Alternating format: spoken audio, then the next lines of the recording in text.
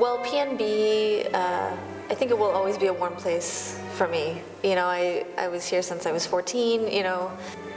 But in 2008, there was just this magic in the studio working with Bernice and Jean-Christophe when he came. And I knew as soon as I felt this, whatever this uh, perfume was, that I needed more.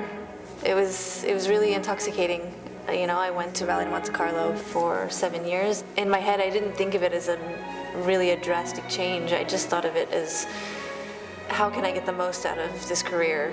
This short, beautiful thing, you know, what, how can I develop myself? How can I become an artist? You know, because I, I do remember feeling like uh, I was just a technician. Honestly, for me, that kind of started getting old, you know. Um, I, I wanted to be an artist.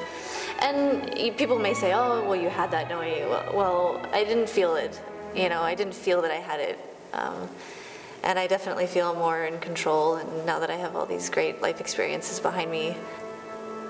What makes Jean-Christophe's ballet so nice is that um, it really feels like a real person. Like, and I, and I mean physically, like when you're standing on stage.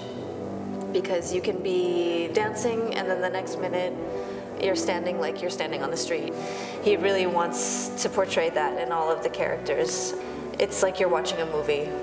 You know, you don't even realize that it's not like this presentation thing where dancers are looking out in the audience and they're looking at you, looking at them.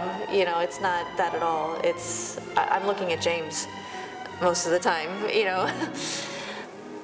James is great. He's like the most humble person I've ever met. There's no ego there, and uh, it just fits like a glove.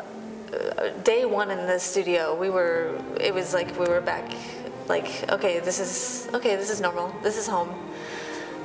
I don't ever feel awkward.